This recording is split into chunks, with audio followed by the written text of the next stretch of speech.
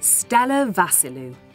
Mae Stella, sy'n 19 oed ac yn byw yn y bari, yn saernio gyrfa'r addawol fel sair gyda chyngor Bro Morganwg er iddi astudio celf a dylunio yng Ngholeg Cerdydd ar Fro am gyfnod.